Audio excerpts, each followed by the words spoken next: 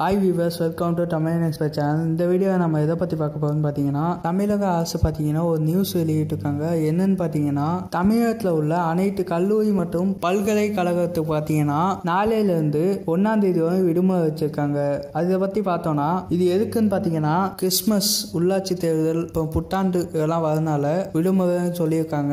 இந்த நியூஸ் பார்த்தீங்கன்னா தமிழக அரசு அறிவிச்சிருக்காங்க. இனிமேல் தமிழகத்தில் கல்லூரி பார்த்தீங்கன்னா ஜனவரி ரெண்டாம் தேதி தான் மீண்டும் திறக்கப்படும் அப்படின்னு சொல்லியிருக்காங்க.